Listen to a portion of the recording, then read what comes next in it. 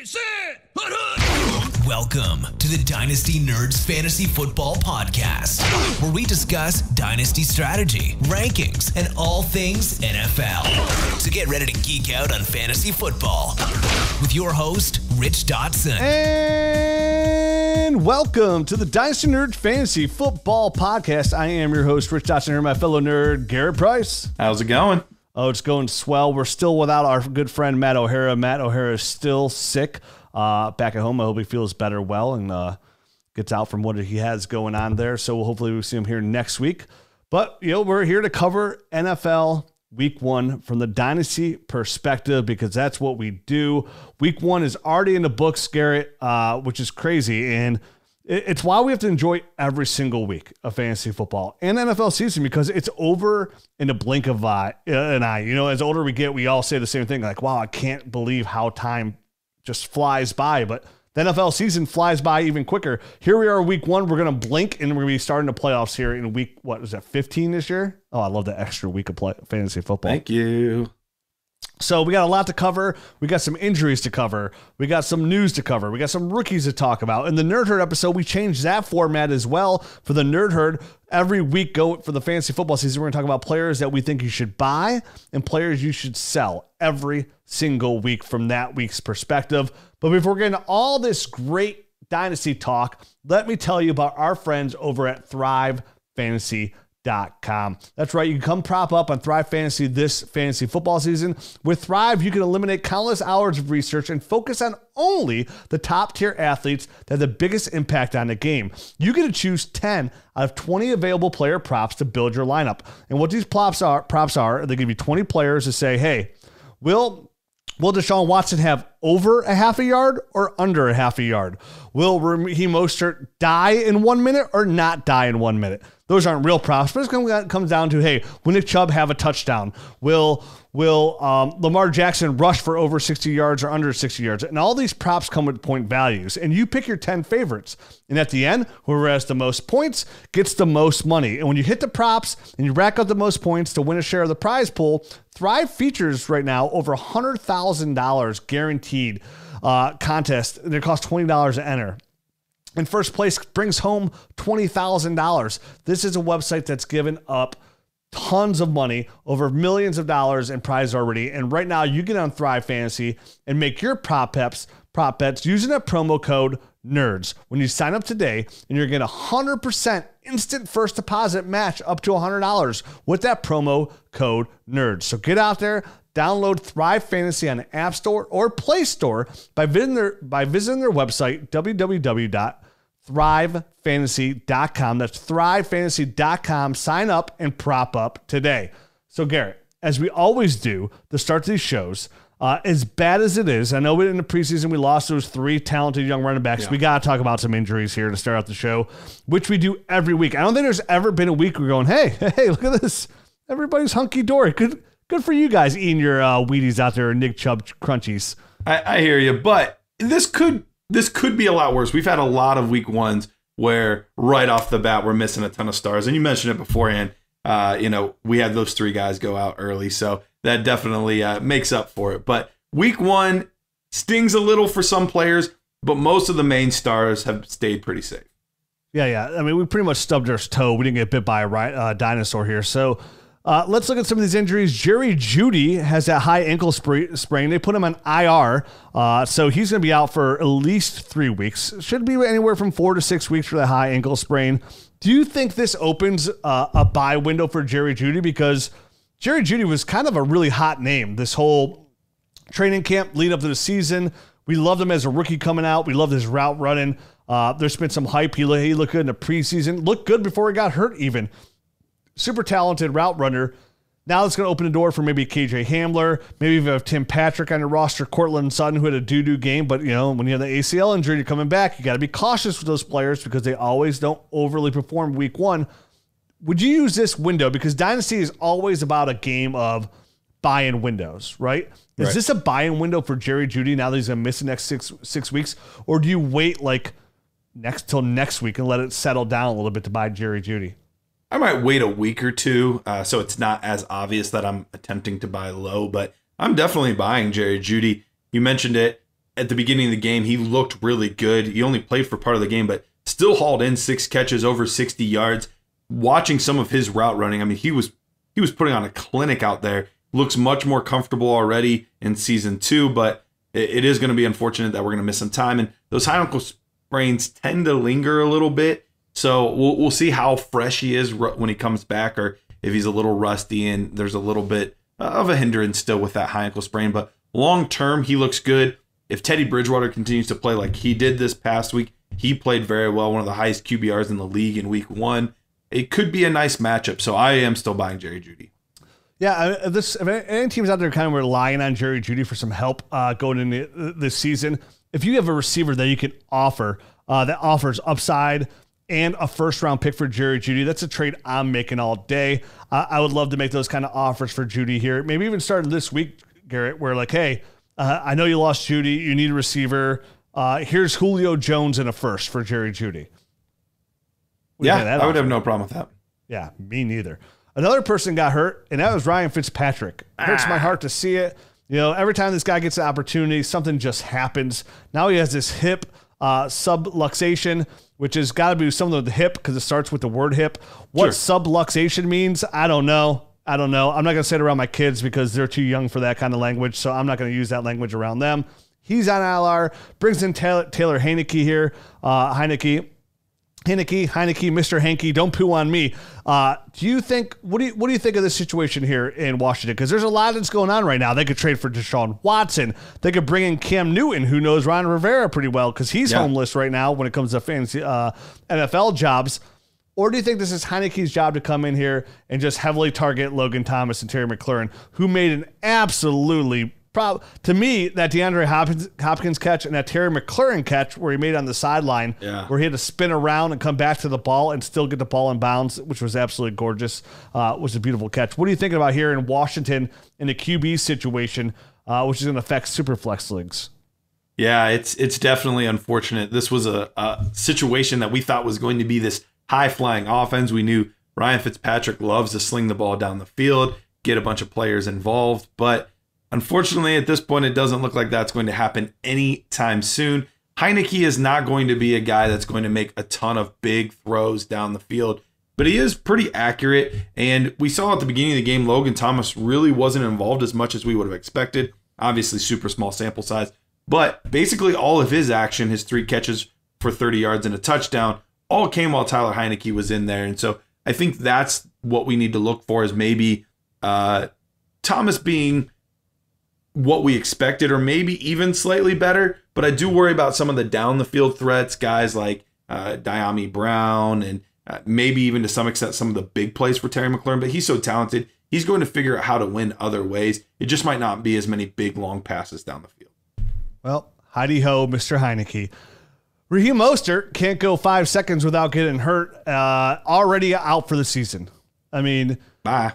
Raheem Mostert has uh, branded himself as somebody that just super talented, super fast, but just can't last, you know, a couple games. And this time he can't even last a couple quarters. He's out, knee injury, announced it today on uh, his his Twitter account, which is going to open the door. Obviously, Elijah Mitchell, we're going to talk about him honestly in both shows. We got a lot to talk about Elijah Mitchell. We won't dive into him as much today uh, or on this show as we will the Nerd Herd episode. But yeah, I mean, he comes in, has a fantastic game uh, for the San Francisco 49ers. Obviously, Trey Sermon's not even active, but it just goes to show. I mean, we talked about this before. Like, if you're just given the opportunity in San Francisco, you're going to be a fancy football relevant running back. It, it's kind of why I said in this offseason, I was like, why pay that price for Trey Sermon when you could pay this price for Elijah Mitchell? And if you would have listened to that, and I have a lot of Elijah Mitchell shares – you would have had him already for week one. Now, obviously, you didn't start Elijah Mitchell week one, so it's kind of relevant. And Trey Sermon's probably going to be active week two, but Elijah Mitchell just to have a really good game, and Kyle Shanahan will ride the hot hand. So that's that's an interesting situation. Raheem Mostert, what is he worth right now? Is he worth a bagel? Is he worth uh, a fifth round pick? Is he worth a, a, a firm handshake? I mean, sure, fifth round pick, I guess. You're just throwing. I mean it's it's basically the same type of dart as a fifth round pick, but at this point, you you can't count on him to stay healthy. He's not young. It's not like he broke out as a rookie or a second year player. He's in his late 20s already at this point. I just don't see a situation where he comes back and is given the 1A job. So I, I don't see I don't see why. I, I mean, he's borderline not roster, rosterable at this point. Obviously, you have IR, IR slots, yeah. you can stick him in there, but yeah, maybe a fifth, but that's it. Yeah, that's it for Mostert in my eyes too. I agree with you. He'll get a job. He'll be a backup guy, but he'll never be another guy again. And if he does come back, I mean, what are you gonna do? Like you said, can't count on him. You can't even count to one to get usage out of this guy. You're like, all right, let's go, Raheem. What? what? And that's uh, it. It's over. Dang. I'm finished. It's like it's like the worst. Like, it, uh, never mind. I don't want to get into that part of my uh, life uh, for how quick things can go downhill. let's move on. Rashad Penny, calf strain, out two to six weeks. Uh, yeah, Rashad Penny, he's still around in the NFL, former first round pick. People thought he was going to get a little bump into value. Still the Chris Carson show there. Your boy DeeJay Dallas now has a little bit more opportunity out there. Yes, sir. Rashad Penny, is he rosterable? I mean, he's he's about in the same boat as Mostert. Another guy that just can't stay healthy. Yes, there's there's talent there, and I guess he's younger than Mostert, so that helps a little bit. But he just he just can't stay on the field. So we'll see about this calf strain uh, right now, it's looking like it's week to week, but who knows with him? Everything always seems to last a lot longer than it's supposed to. I just can't. I just can't trust the guy, and and Carson just keeps producing. I don't know why at this point they would bother even attempting to put him in when when Carson's playing so well.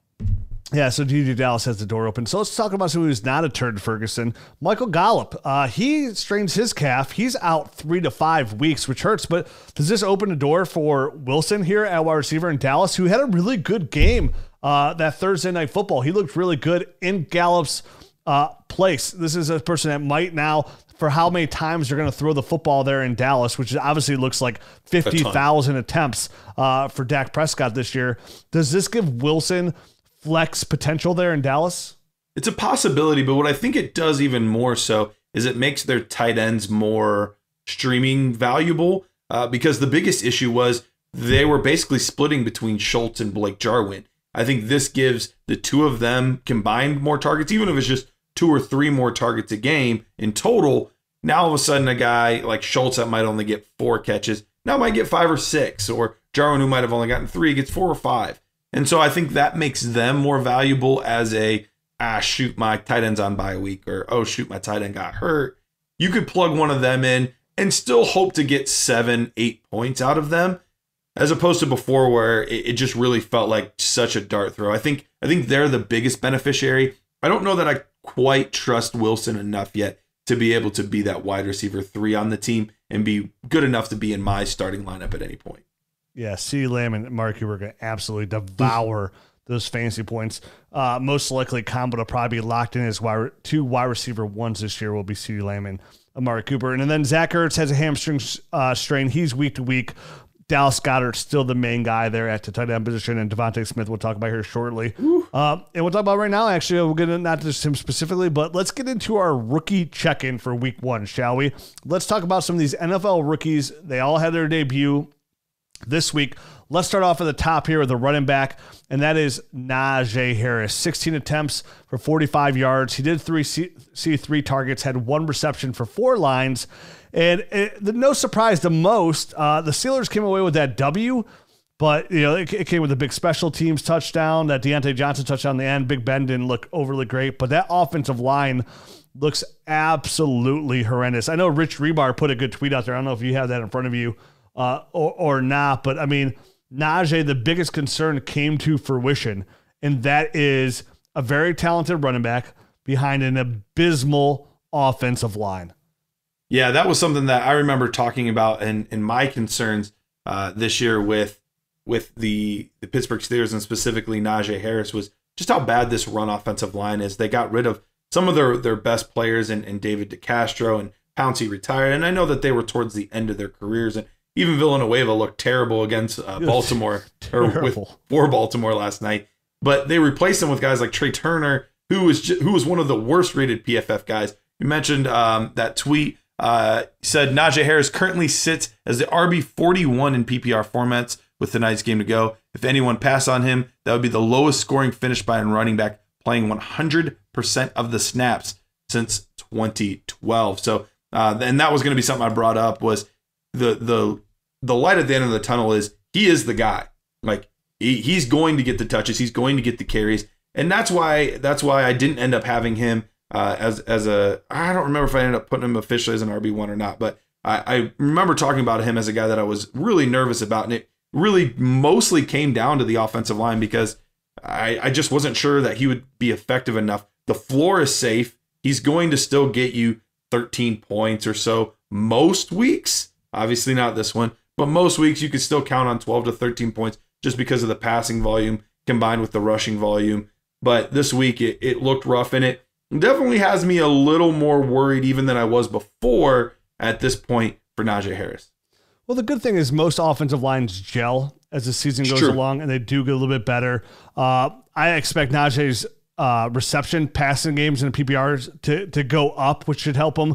But I'm with you. I, I still think we're going to see that that 13 point games right around the floor. Which again, we saw Mike Davis was good enough. His he averaged about 13.1 points a game last year, and that was good enough for running back 12 overall. And, and, you mentioned that usage, that 100% snap total for a running back Wild. which is crazy.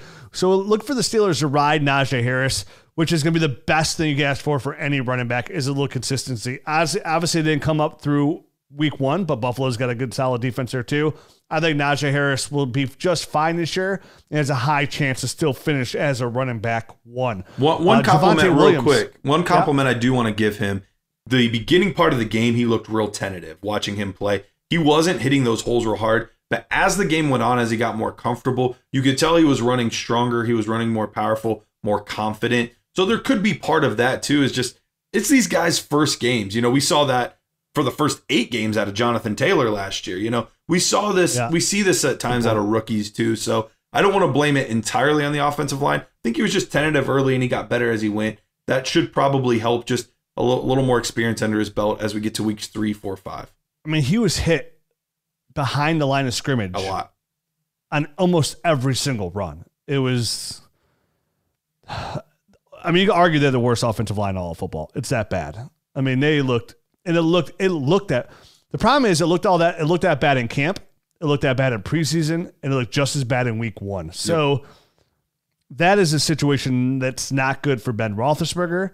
It's not good for Najee Harris, and it's it has a chance that you know it could hurt these wide receivers, which we saw. None of them really had a huge game. Diontae Johnson that game at the end, uh, that touchdown at the end, but Pittsburgh, that's that's worrisome. The offensive line is that bad, where it's a huge worrisome when it comes to fantasy football production. I think if I have those receivers, I'm treading lightly and I'm selling Juju for. I'm like we mentioned him before as a sell. Like Oh yeah, he's been a sell. if I could sell Juju still on that name take, say somebody had Jerry Jeudy, and I could and I could swap. We mentioned before. Can I swap Juju Smith Schuster for Jerry Jeudy straight up? Ah, no, I don't want to do that. Hey, what if I give you Juju Smith Schuster in a second for Jerry Jeudy? Like I am actively trying to pawn off, and I think Jerry, I think Jerry Jeudy's a great get right now. Um, for a guy like Juju Smith Schuster. I think he has the cat the cachet in name and the fact that he finished as wide receiver 16 overall last year. I think that's enough that could possibly get that deal done. Or it's workable unless you're just a huge Juju hater, kind of like I am, which is sorry, Juju. I'll hit you up on my TikTok next time. Uh, let's move on to Javonte Williams, running back for the Denver Broncos. 14 attempts, 45 yards. He's competed with Melvin Gordon. Melvin Gordon obviously had a much better game. He saw Javonte sell one target, one reception for minus four yards. It's a pretty even split. Uh, split. But we, we look at uh, Melvin Gordon had that big touchdown run for 70 yards, which was massive. I thought Melvin Gordon was going to get 60% of the shares. It was pretty even down the road, but Melvin Gordon showed with that that veteran presence that he's still a factor here in fantasy football. Had over 20 Yeah. fantasy football points. I know that big run, you know, that's a big run, so that that's a huge part of his points, but he still had the big run. What do you think about Javonte Williams? Are you excited about his usage so early, being a 50-50 split?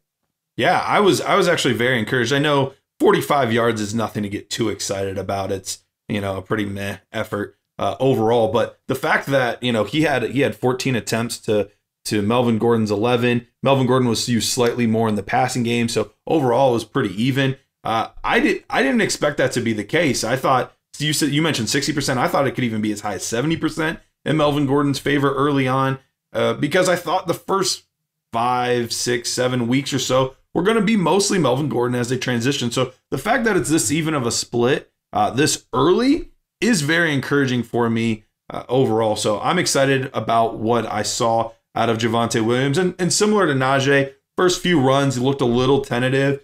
As the game went on, you could tell he got more comfortable, started ripping off some longer runs, some eight yard runs, some 12 yard runs, things like that. So I, I got a little more excited as the game went on too, seeing him get more comfortable in the offense.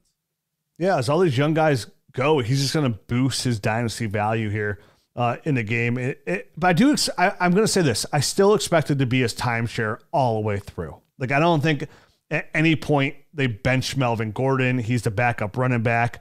Uh, you know, it's a 70 40 the other way. I think going for this entire season, it will be a pretty even split for what they're paying Melvin Gordon and how talented he is. So I think that does handicap Javonte unless he could somehow get more involved in the passing game, which we know he can do. But remember, it was Michael Carter who was more involved in the passing game there for UNC. So, well, actually, surprisingly, Javonte Williams actually had two more catches or three more catches than Michael Carter. So, oh, you know what? Now that you mention that, I do because it was weird. Michael Carter actually had like a few more rushing attempts, which didn't make sense. So it was kind of opposite of what you would have expected out of those two. Javonte Williams, very talented running back. I, I think his value is going to come come playoff time. Yep. Not early on. So it's it's, it's a but hey, the, again, we got to be excited just about the usage out the gate. That's I the mean, most important thing. Javonte was slightly used a little bit more in the ground game, so that, that that's a good start to the to the season. We mentioned Elijah Mitchell earlier for the San Francisco 49ers. What a game. 19 attempts, yeah. 104 yards, and a touchdown. Like we mentioned, Trey Sermon was not active. We're going to talk about Trey Sermon. Is he a buy or is he sell? I don't want to ruin for the Nerd episode, but we're going to talk about him in depth here for the Nerd episode, whether we should be buying Elijah Mitchell or should we should be selling Elijah Mitchell. I have my stance, but Trey Sermon will be coming back. I want, I'll say this is whoever is the guy for the San Francisco 49ers is going to score you fantasy football points. Fair? There you go. Fair. Yeah, let's talk about him death here soon.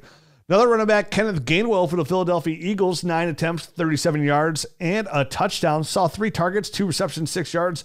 He was definitely more involved in the passing game than said uh, starter Miles Sanders, who had a pretty solid game for he did not. I mean, almost disappearing there in the second quarter. Like he wasn't even like, hey, where'd yeah. you go? Up oh, there he is. Ended up having a very solid game looked pretty good overall. The Eagles look pretty solid in offense. Yeah. But Kenneth Gainwell has really carved himself out a role here for the Philadelphia Eagles. Like the young rookie out of Memphis, will will he be a possible? Is there a chance that he could come on like the newly paid Nyheim Hines for the Philadelphia Eagles? Could he be that kind of weapons? Which we got to remember, Nyheim Hines finished as running back number 16 in PPR leagues last year. We're always looking guys like J.D. McKissic for Washington last year. Those guys hold value. Is there value going on right now, Garrett Kenneth Gainwell in Philadelphia? Is now the time to buy in Dynasty? Is there value in PPR leagues for the former Memphis Tiger? I think so. He came into the season or into the draft process as my number four, I believe, four or five. I, I had to go back and look. He was either my fourth or fifth ranked running back in the class. I really liked his tape. Uh, watching him in the passing game, that was one of the things that he did the best was he could line up as a receiver and and catch passes. He was also very good out of the backfield, had pretty good speed. So I was a big fan of his, and I was surprised when he fell as late as he did in the draft. It was one of those things where I thought for sure he was going to be a third round running back, and he ended up going to didn't go till the fifth. Then you had Miles Sanders and and Boston Scott, which I thought Boston Scott was one of the biggest hindrances for his playing time, and Boston Scott didn't hit the box score. Like it was it was all Kenneth Gainwell and Miles Sanders. So that was extremely encouraging for me. And I, unless you've heard something about an injury to Boston Scott that I'm not aware of, I think he was just better. And they're like, you know what? We're going to use this young guy. We can do it in the receiving game. We even trust him uh, on the ground. I, I mean, nine nine attempts for a guy that's more of the receiving back is nothing to sneeze at. So I think he is a good sneaky value, and he could easily be. You're right, Nyheim Hines, Tony Pollard, some of these guys that are still going to have value even though they're not their team's main ball carrier. Yeah, again, that was my first thought of when you're looking for somebody who's going to be, um, from that standpoint, like a talent. Where where can he be used? Where where can that fantasy production come from? And I mentioned I, I tweeted out earlier like Nyheim Hines to me was one of my favorite offseason buys, right? Like I did a whole YouTube video. I know it's on YouTube right now, the Dynasty Nerds YouTube channel, why you should buy Nyheim Hines. I put this out seven months ago. Then he goes out and gets paid. He's Nyheim Hines is the 11th highest paid running back in the NFL right now. And when you look at that same thing, so we look at Gainwell, nine attempts, 37 yards, three targets, two receptions, six yards. Obviously, the touchdown's a big thing. Going out there, Jonathan Taylor had a fantastic game for the Colts, but Nyheim Hines for the Colts uh, versus Seahawks, nine attempts, 34 yards, right? In the passing game, eight targets, six receptions, 48 yards. So Nyheim Hines got that six receptions, 48 points. That's so that's 10.8 points there. Add on to the uh, rushing yards, which is 3.5 34 to 3.4, you're talking about a 14 point game for Nyheim Hines, which is more points again than running back 12 Mike Davis last year. So if Kenneth Gainwell can get into that mold and become that running back where he's getting about nine, 10 temps a game, but more so, the action and the juice will be on. He saw three targets. Can he get into that eight target range right around Hines as well? Yeah. Then he becomes a factor in fantasy football. And the reason I did that video on Nyheim Hines is this is where the value is in Dynasty Fantasy Football. We talk about all the time on the show is everybody's looking for that big trade, but it's the small trades that win you ships as well. And that's why I love Nyheim Hines, and I've been talking about him for over a year. I think Kenneth Gainwell, Garrett, has a chance to fit into this mold. I think he's a fantastic dynasty buy right now, and I would be more than happy to give up a 22 second for Kenneth Gainwell now, which again, some might say, hey, that's an overpay. But when we're talking in 2023, you're like, wow, I can't believe you got Kenneth Gainwell for a second. Because right now, I think Nyheim Hines, before that uh, contract extension, was easily worth a second. Now that he's getting paid, he has that long term commitment from the Colts. Right. I think that's easy worth a second. Why not? Why pay that Nyheim Hines price when you get that Kenneth Gainwell price, which you might not even have to get him for a second? You might give him a player on your roster you don't like. Uh, maybe you have a lot of injuries. You feel like you're out of it.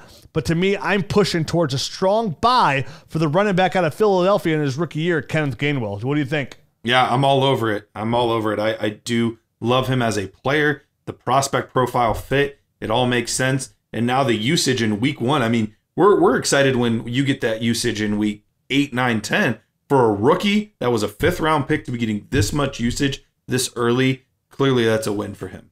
Yeah, I recommend to all the nerd herd out there go out there and put some offers. Kenneth Gainwell, uh, another rookie who was not a fifth round pick, but a fifth overall pick, Ja'Marr Chase.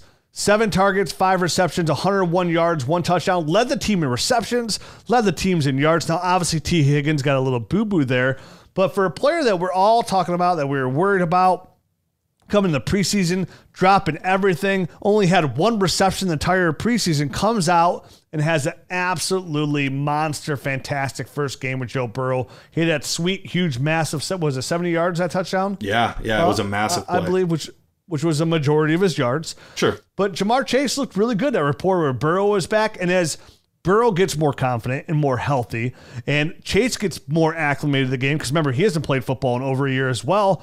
This could be an absolutely dynamic offense out there in Cincinnati when you throw Joe Mixon, Tyler Boyd, and Tee Higgins into the mix. These are all massive dynasty assets. Ja'Marr Chase, if there was ever a dip and you got in on it, it looks like you looked out because Chase looked dynamic in Cincinnati. Yeah, he looked really good. We saw some of that that route running that he had. That was you know one of his a solid attribute of his. We saw him play pretty physical, go up, and and that was one of the things that I thought was the best of from from his tape was he had very much so a my ball mentality. I think we're going to start to see that more and more on display as they as the the trust develops there. They're going to throw it to him even when maybe it's tighter coverage than some of the coverage he had this past week. He's going to even get more targets based on that. He's going to be a great player. Uh, this is this is a strong class. We always said the strength of this class is in its receivers, and I think that really showed already on week one for these rookies.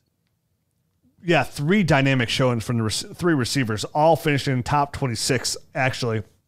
Ja'Marr Chase, DeVonta Smith, Jalen Waddle, all finished in the top 26 of fantasy football receivers week one of their rookie year. Speaking of DeVonta Smith, eight targets, six receptions, 71 yards, and a touchdown. Led the team in yards, tied the team for uh, league lead in receptions.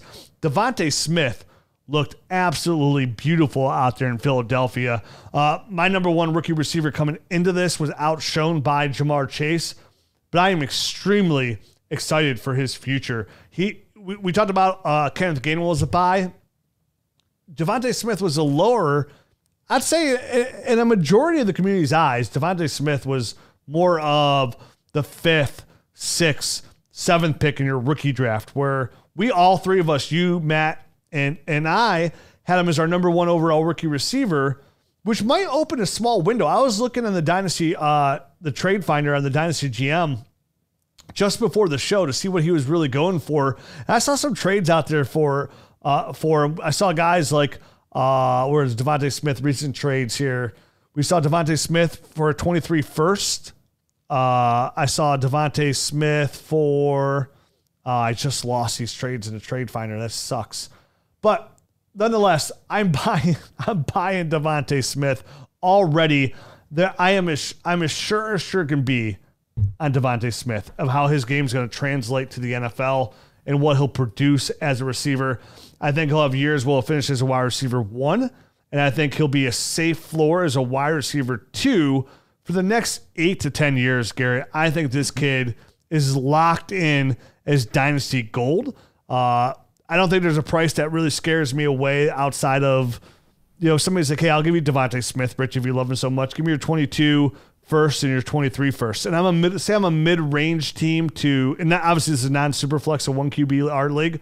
Somebody, if somebody wants two DeVonta Smith, uh, two first for DeVonta Smith, and that can get it done, I'm paying that all day, every day, Yep. and twice on football Sunday. Got I'm 100%. What's that? I, I pulled it up. I pulled it up. All right, let's I, hear I it. pulled up the trade browser. So here's a couple: DeVonta Smith and Jalen Waddle for CeeDee Lamb. Spicy. That's an interesting trade. That's a Um, one QB league. No, the, yeah, these are one QB PPR. Yeah, I'll take DeVonta Smith and Jalen Waddle. Okay. Uh, Mike Williams and DeVonta Smith. Oh, this is easy for Marvin Jones. Don't even know why I brought that up. Ignore I that. saw that trade in there. I didn't even. re- Yeah, that trade's terrible. Whoever did that trade, it's got to be Marvin Jones' cousin or his son in like in a dynasty league or something going on there. Something's fishy, and it doesn't even. It's not even good fish. DeVonta Smith and a 22 first for AJ Brown. Ooh. Ooh, I don't love the 22 class, but that's close. that's really close. Yeah. All right, that's all you're getting from me. Okay, but yeah, I mean, I, uh, there's probably not a huge amount of trades for somebody that just gets drafted in the first Right. round here of your draft. So you don't see a lot of trades in the trade finder forum because nobody's going out there and trading them week one. But I'm buy again. I'm buying. If you own them, God bless you. If you don't, good luck buying them. But it doesn't hurt to throw two first out there. I, Or I'm a guy like 100% DeVonta buying. There's a reason that he was all three of our number one receiver in the class. And the thing that I loved is his week felt very um, something that he could replicate very easily. You know, it wasn't like one big spectacular play. It wasn't this unreal, unheard of catch. It wasn't, you know, uh, DB falling down so he made a play. Like it was, he beat he beat his, his the, the defensive back on good route running, using his speed, got open, made good catches. Like, and I just think that this is the the stat line that we could see every single week out of DeVonta Yep. Smith, and it would not surprise me. Oh, another 80 yards and a touchdown this week. Oh, got another eight catches this week. Got, like these are all things that we could see very regularly out of a guy like DeVonta Smith. and it, which will which will be like uh you're gonna get sprinkled in some monster games Sure. too like those those 11 catches for 170 yards and two touchdown games and that's what I love about players like DeVonta Smith right and this is why this is why I'm all in as a buy and give it a multiple first is because he's to me he's a super safe dynasty player Yeah. where you mentioned six receptions, 70 yards. He gets a touchdown this week. Obviously, he's not going to get 17 touchdowns.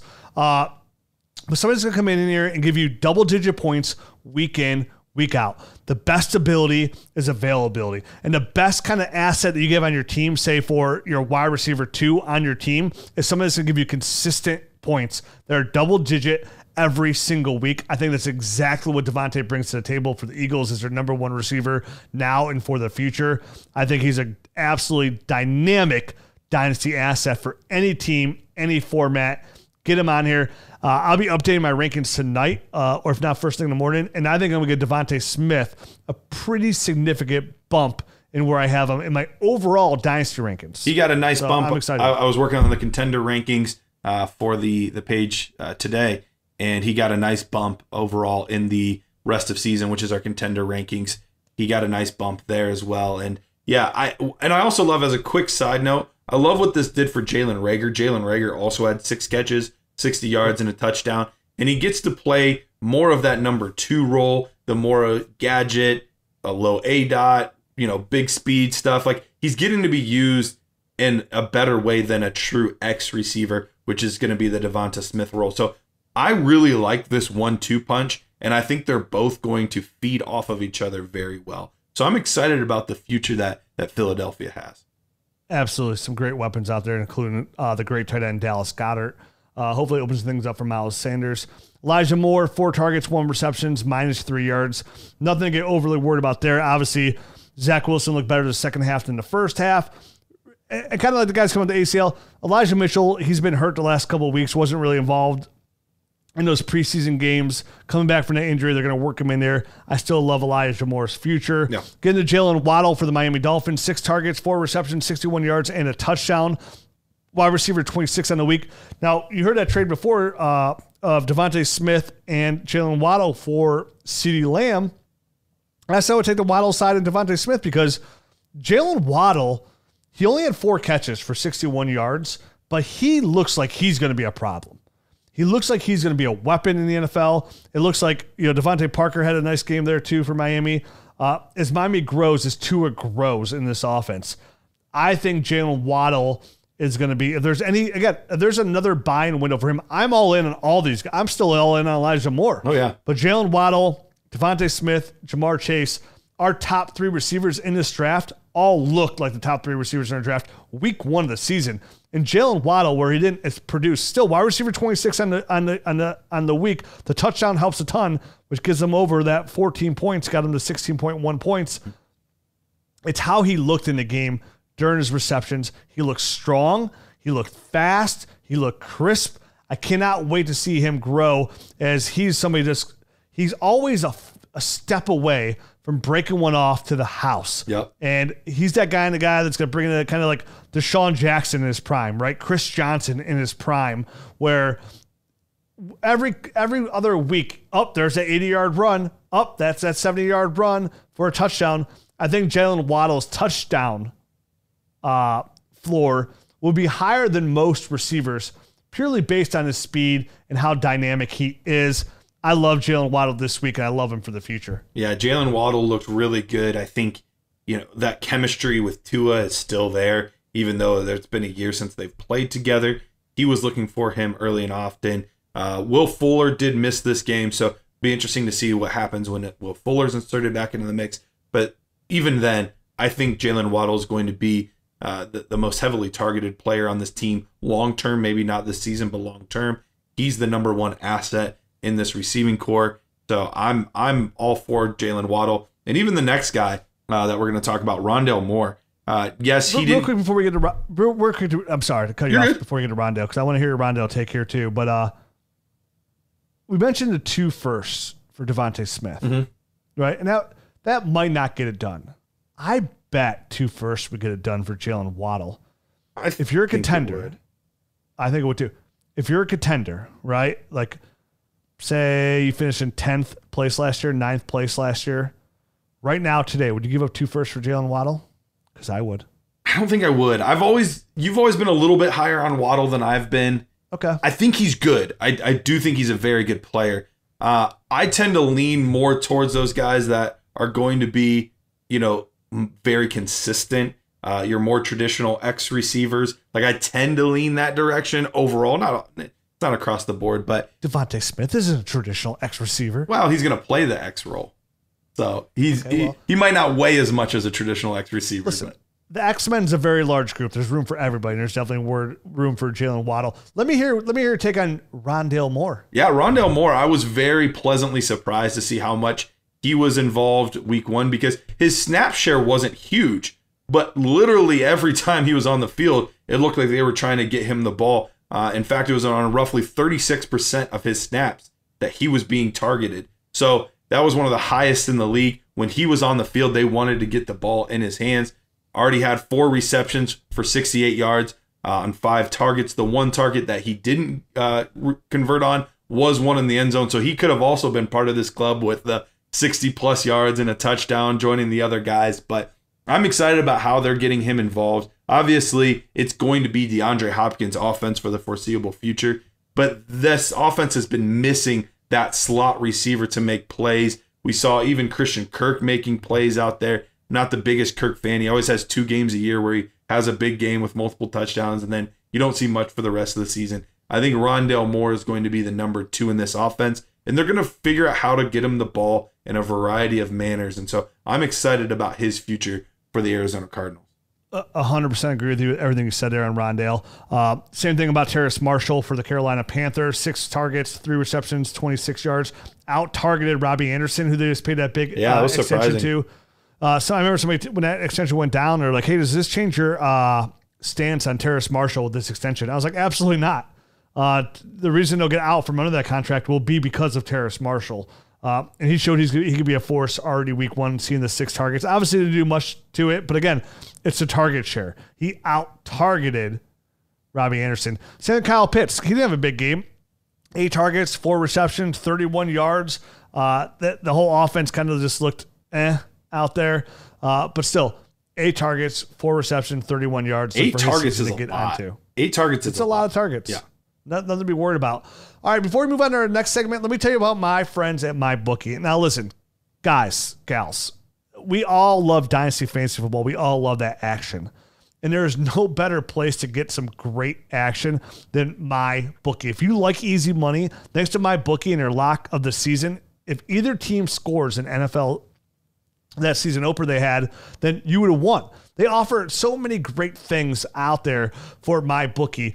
Every kind of bet that you want to make. And right now they're offering a great promo. If you head to mybookie.ag today and use that promo code NERDS and instantly receive double your first deposit. That's double your funds to double your winnings. Again, that's promo code NERDS to receive double your first deposit. None of this, hey, you play 10 bucks here, we'll give you a dollar. Pay 10 bucks here, give you a dollar. No, they're going to instantly double up your money. And my bookie offers so much more than just lines. They offer prop bets. They offer season long betting. They offer everything that you want that you'd expect when you go to your regular casino or sports book. You get all that action at my bookie. It's my favorite place to win mucho mucho bucks. I mean, I thought I- honestly, Garrett, on Thursday that line where I saw Dallas get an eight. Okay, I was on my bookie and I was pounding that go. negative that that eight, and I came away very very. Very nice. Um, what other bet did I make on my bookie this week? Let me. I was up. I was up. Uh, uh, I was up a, a, good amount of credits this weekend on my bookie because I absolutely love their site. If you're gonna if you're gonna play some wagers, again, DFS is fun, right? It's fun because everybody feels like they're gonna win. But know who wins the DFS bets? The pros do. Get out there, use your football knowledge. Again, we play Dynasty because we are immersed into the game. When you're immersed into the game, uh, obviously it's still 50-50, but I feel like I have a slight edge. And I'm in this I'm in these betting leagues and I always do pretty well. I'm not some professional gambler and I'm not betting my house, but by my bookie provides me an opportunity to get a little bit extra cash. So my wife complains about how many uh, Dynasty leagues I'm in, I'm like, whoa, whoa, whoa. Look at all this cash I got from my bookie. Promo code nerds. Make your wife or husband calm down a little too. Rich, you know a player that is just way too cheap uh, on prediction strike right now?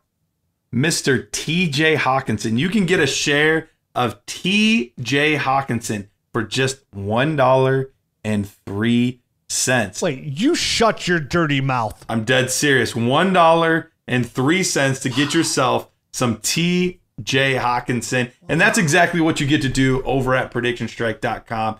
It's basically a stock market for Buying athletes TJ Hockenson right now.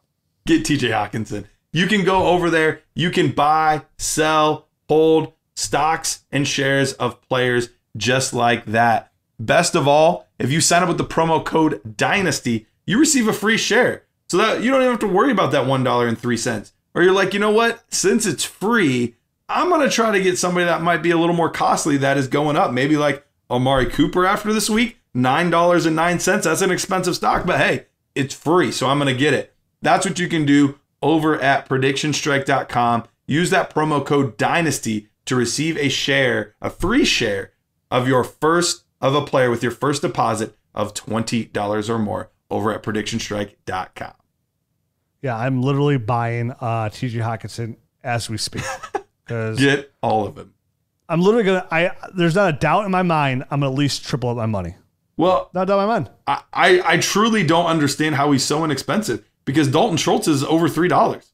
So if I can get Dalton or I can get three TJ Hockensons for a Dalton Schultz, done and done. Yeah, I, I'm literally. I think I'm thinking about like, I'm literally thinking about depositing more money here just so I can get uh more, more TJ uh, Hockenson? Hockenson shares. Yeah. Well, while you're at I- it, go get your boy uh, Corey Davis too. He's only a dollar fifty six. I'll have to put my phone down. I'm a, I'm going to be depositing more money into this. Uh, I mean, I have all I have all my wins from my bookie, so why not? Yeah, It's just money. just I'm head right on over there. All right, Ga- Garrett, why don't you lead us into our last segment of the show?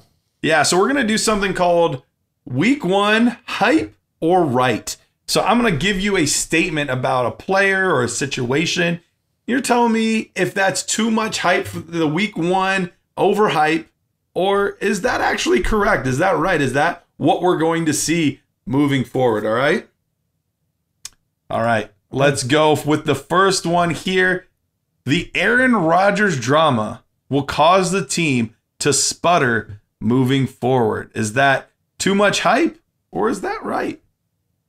Oh, that's way too much hype. Way too much hype. Uh, uh, I mean, he's getting hit in the junk out there, causing him throwing interceptions in the red zone, which you know I understand. You know that's that's a painful situation to be in. Uh, it, just everybody has a bad game. You know what I mean? I get the last the the number one thing I'm not doing is overreacting to week one. I still want Aaron Rodgers. I still want Davante Adams. I still want Robert Tonyan. I still want Aaron Jones. These are all high valuable dynasty assets on my team. I think this is just a, a, a week one uh, hiccup. And uh, yeah, I'm not buying it. So you think he's back to MVP level next week? I don't believe he's going to win MVP this year. Uh, I think that's going to be Justin Herbert, but uh, Okay. we'll Baker we'll see. Mayfield. Come on. I'm just kidding. It is going to be Baker Mayfield. um, yeah, I, I think he's going to be just fine. Okay. Honestly, he's just too good. All right, let's go to our next one here. Now, originally these were these were hot takes of mine simply just a week ago. These seem much less hot after the week 1 action. Dak is the QB1 overall and both CeeDee and Amari are wide receiver ones. Is that hype or is that right? Oh, that's just right. That's so right. It feels good. It's like wow. It's like I, I believe in love at fight first sight. It's so right. I Uh, that's a lot of ites going on here. that is. Uh, obviously, Dak, you know, I'm Da- sorry. Dak was on laugh. pace last year to throw the football for seven million yards. Uh, this year he's on pace to throw for eight million yards. Yeah. So yeah, I mean, uh, does anything look different to you where it says Dak does not look in line? If you had to pick one quarterback right now to be QB one a year, it's Dak easily. Amari Cooper, who when Dak played last year was a wide receiver one the entire time.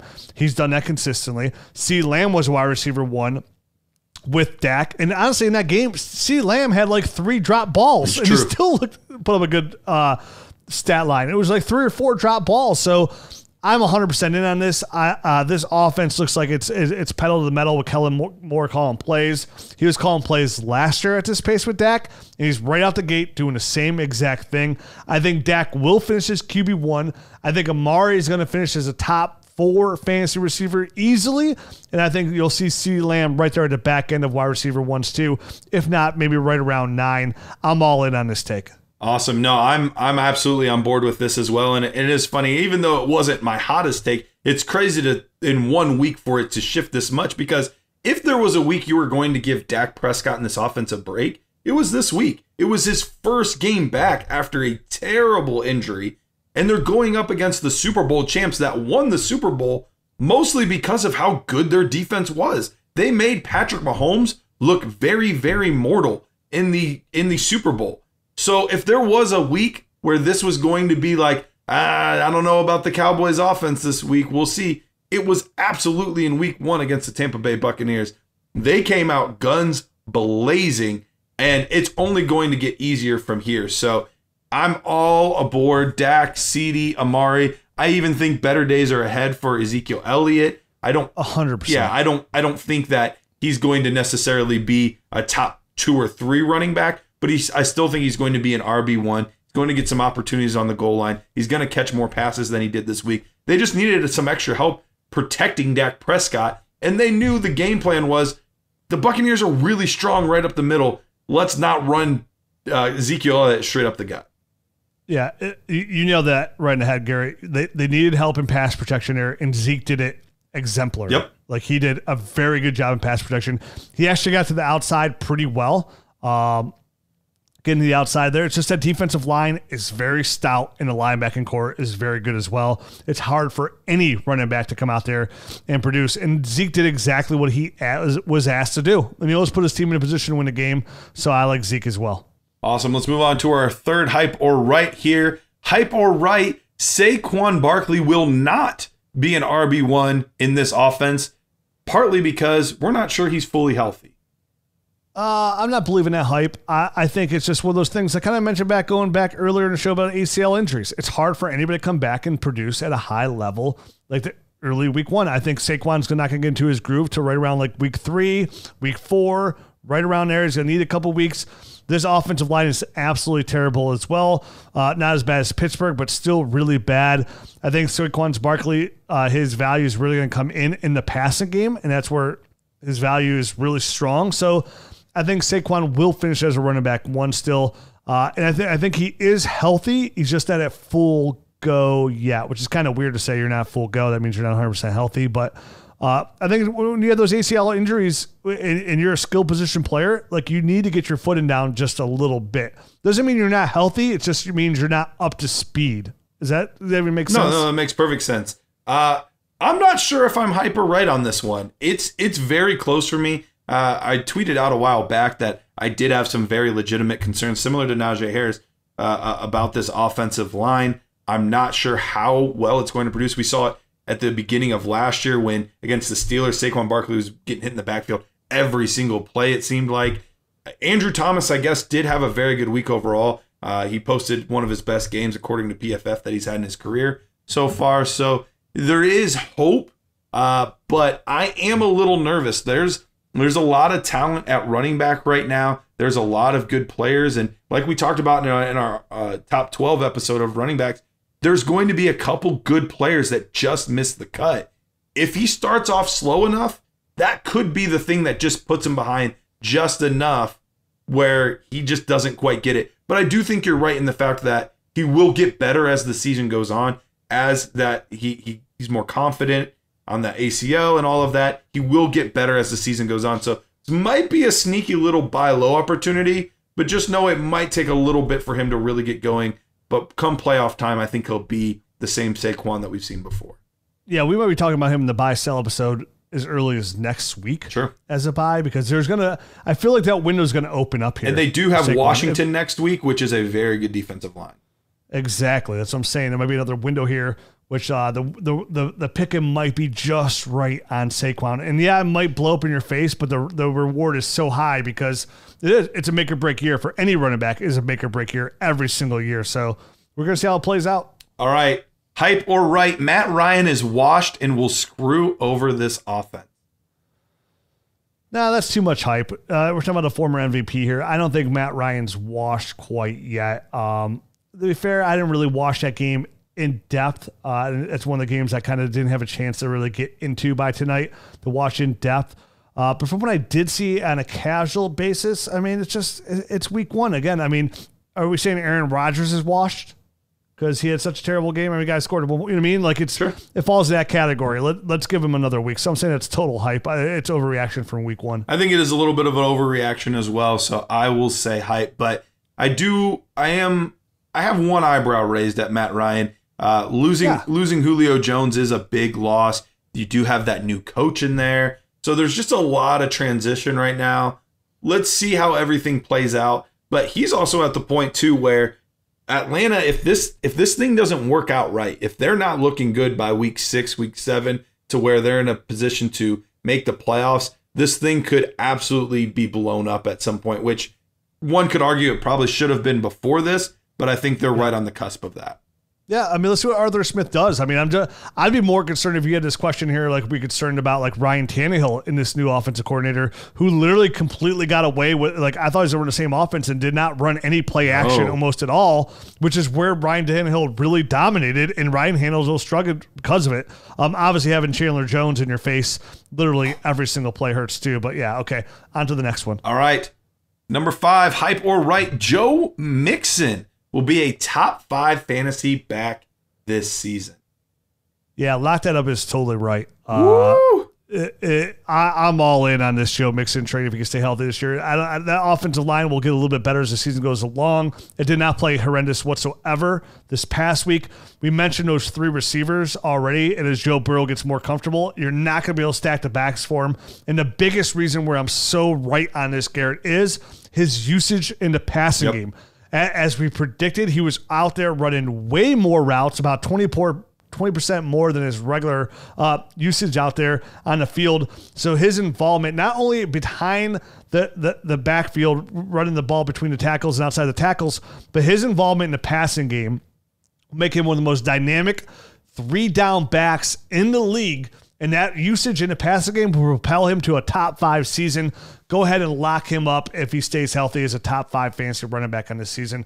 I'm loving it, and I'm loving where this uh, dynasty uh, value is going for all these Bengals. Uh, I'm with you. I, I wasn't sure if you were going to be with me on this one, so I'm glad to hear you are because I'm saying right as well. I love what I'm seeing out of this offense. I thought this was another team that would start slow, and they did not at all. They came out looking good. And originally, I felt that they had no business being in this game with the, the Vikings. The Vikings were a borderline playoff team last year, and they had lost huge pieces of their defense all year.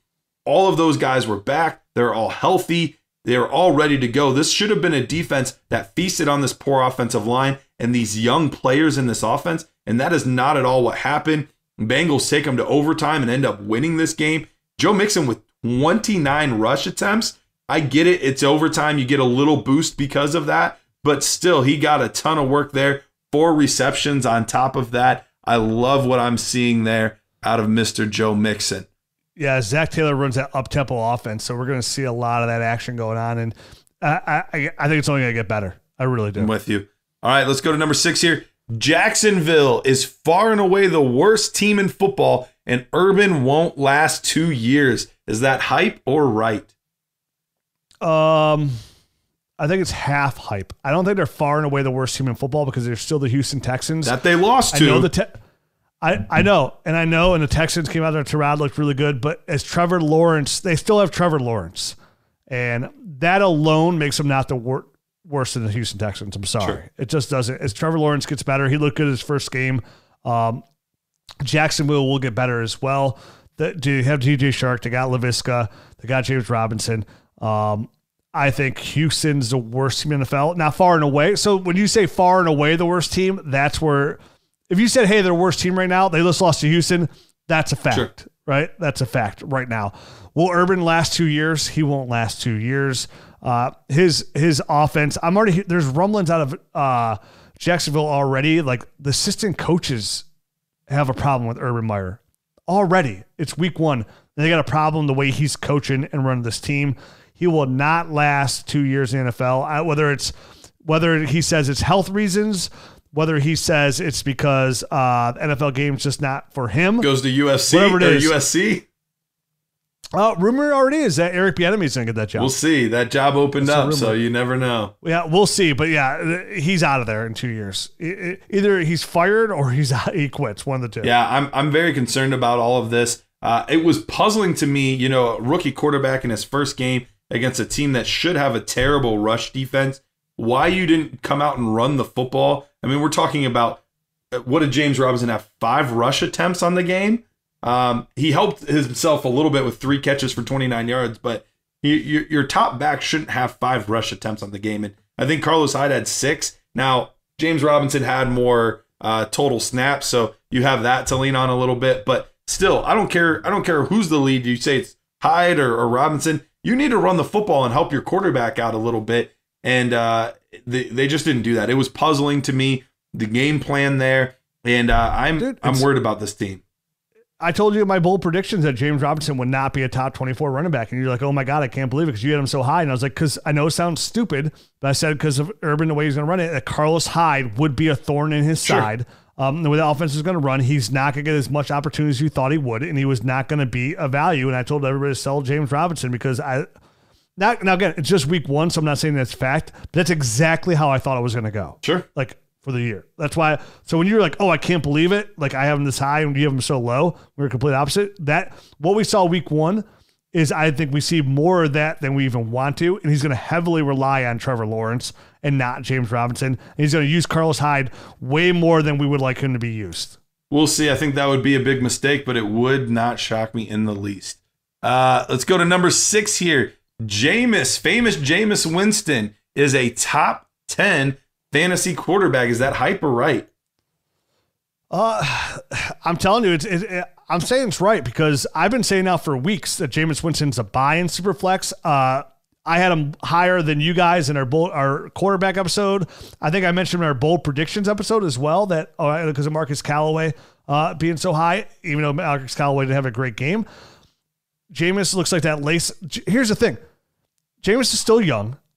Sean Payton's a guru, and Jameis Winston looked good in the preseason, and he looked absolutely fantastic in Week One. I think he's a great super flex buy. I am buying Jameis Winston. I will say after the season's over, if not before the season's over, Jameis Winston will see at least a three-year deal to stay in New Orleans. He's the he's the quarterback of the future. Michael Thomas will be coming back at some point this season. I think the sky's the limit. I think Jameis Winston will finish as a top 10 fantasy football quarterback, and I am buying him in super flex leagues.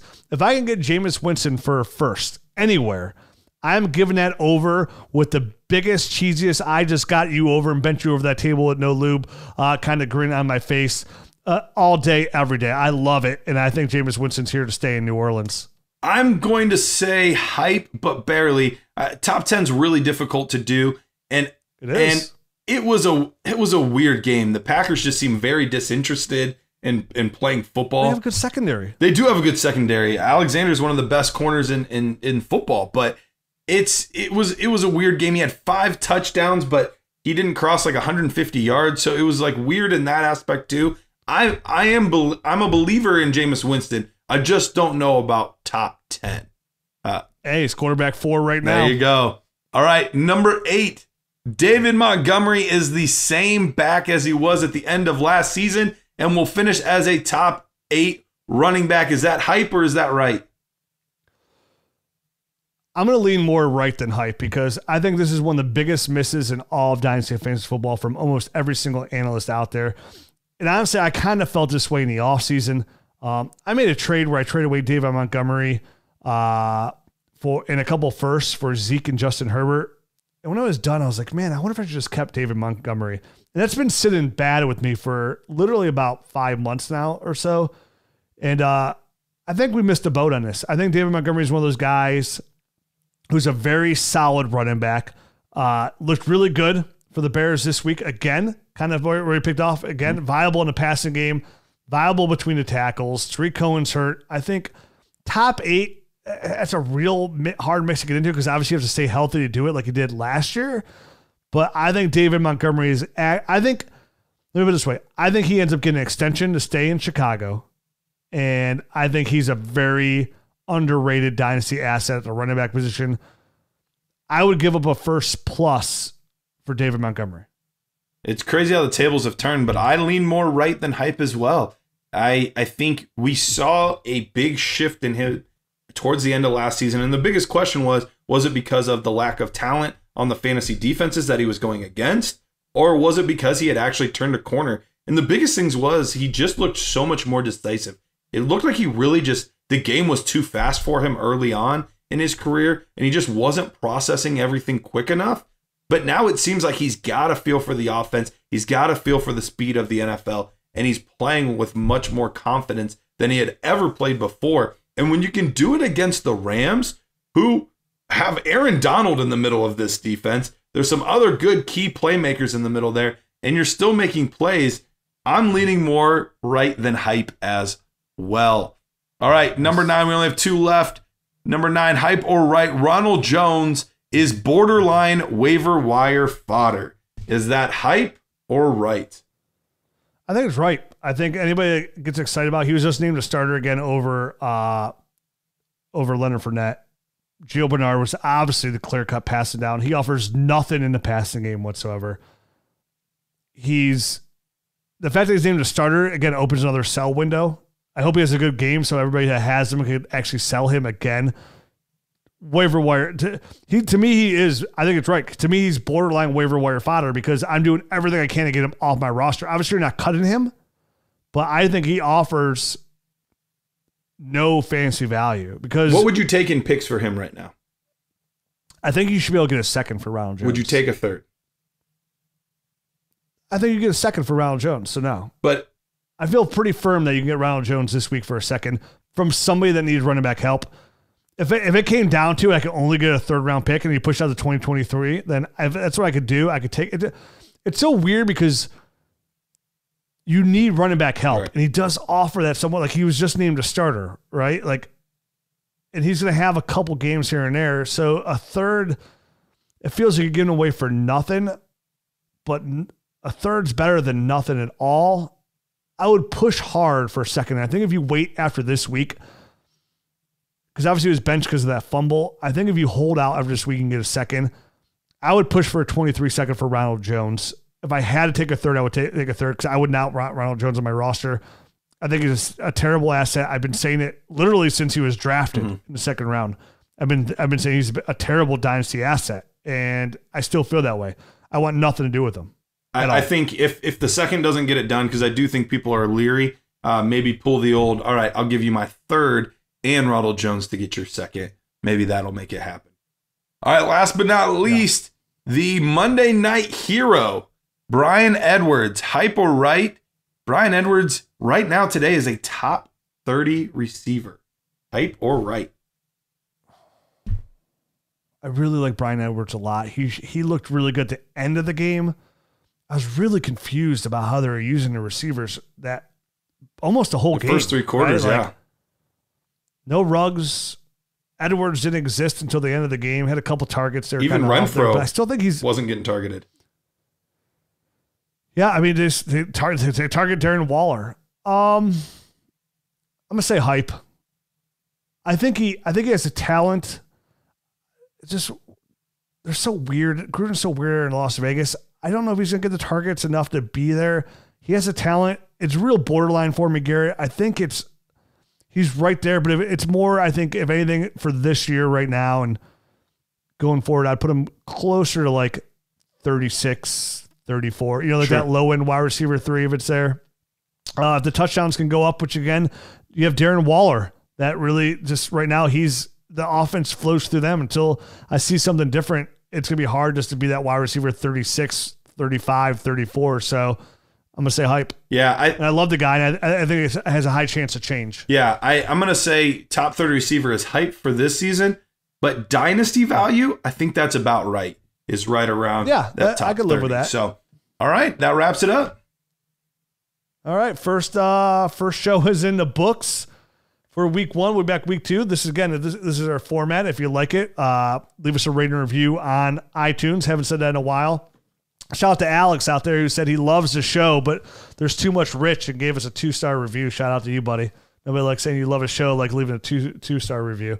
Uh, but if you like the show, don't be like Alex and uh, leave a later review on iTunes. It really does help the show because those. That's what I learned as I mentioned because those those five star reviews keep you at the top of the fancy charts. Just, that's as simple as they are. That's why Apple has it. That's their that's their algorithm, right? Like